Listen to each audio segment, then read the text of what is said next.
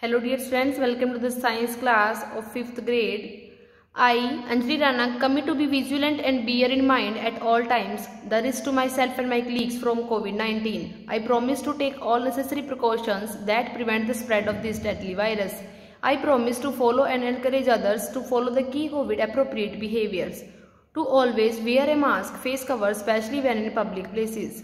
To maintain a minimum distance of 6 feet from others to wash my hands frequently and thoroughly with soap and water.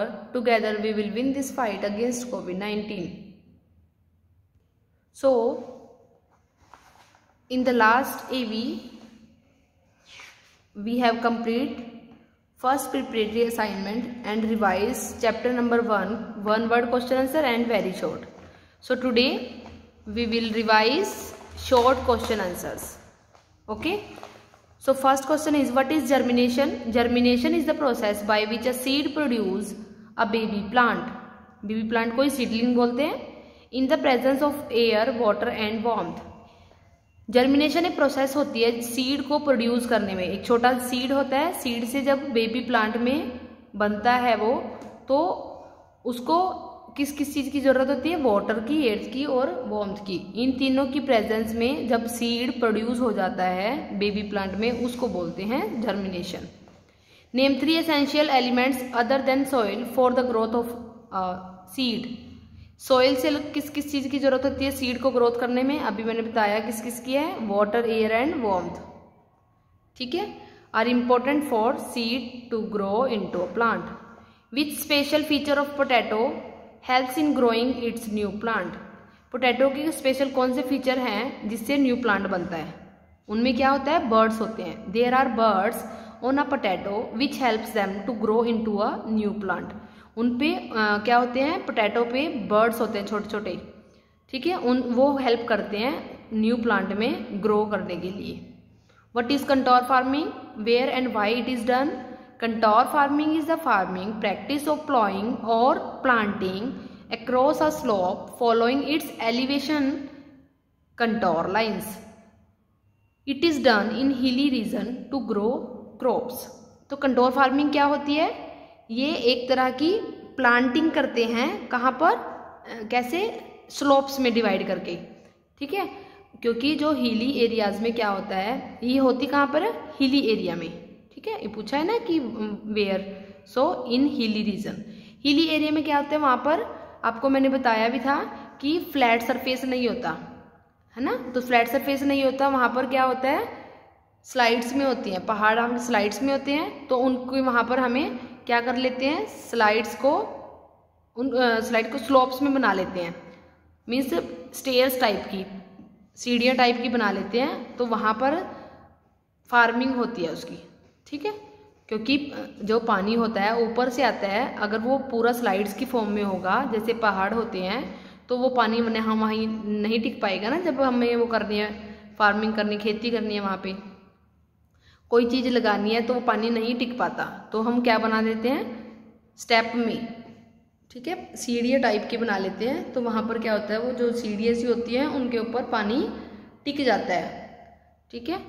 Define crops. Name the two main crop type of crops grown in India.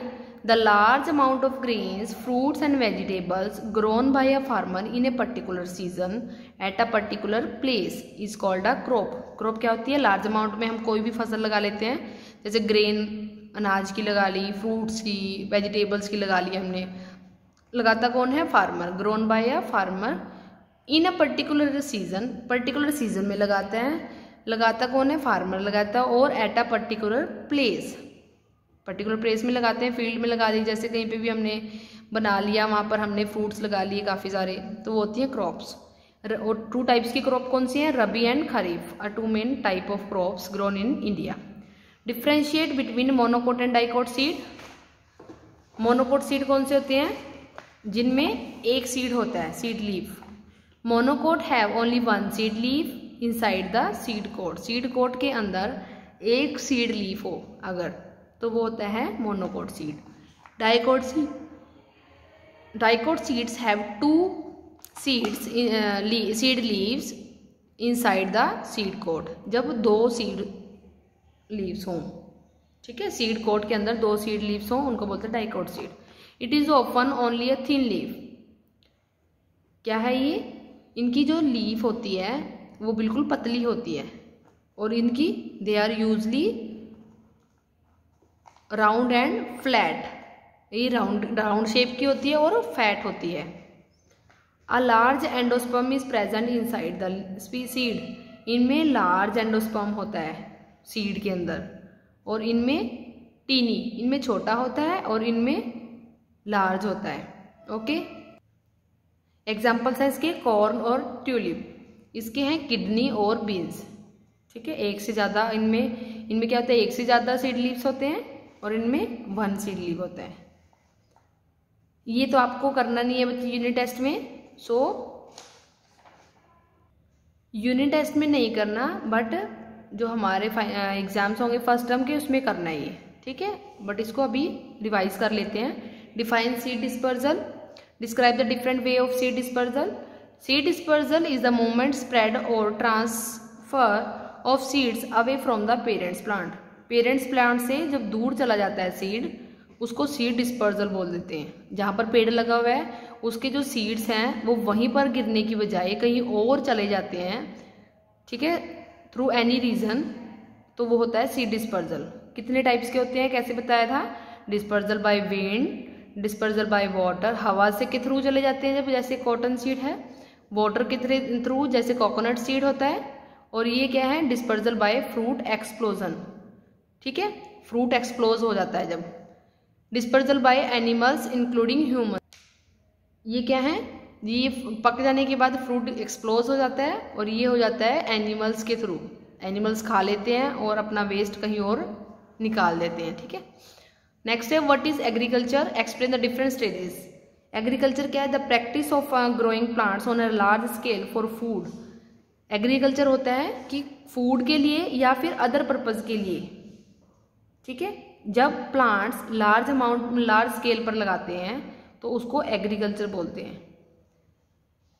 Different stages क्या क्या होती हैं? पहले ploughing करनी होती है, फिर enrich करना होता है सॉइल को। ठीक है? फिर सोइंग बीज डालते हैं, फिर पानी लगाते हैं इरीगेशन होती है, फिर उसमें केमिकल्स डालते हैं पेस्टिसाइड्स वगैरह, है ना? उसके बाद फिर जब पक जाती है तो हार्वेस्टिंग हो जाती है हार्वेस्टिंग एंड स्टोरेज लास्ट में क्या होता है? ट्रांसपोर्टेशन फिर इसको ट्रांसपोर्ट किया जाता है एक जगह से दूसरी जगह पर. तो ये था आपका चैप्टर नंबर वन कंप्लीट हो गया आपका. नेक्स्ट एवी में हम करेंगे chapter number two thank you and have a nice day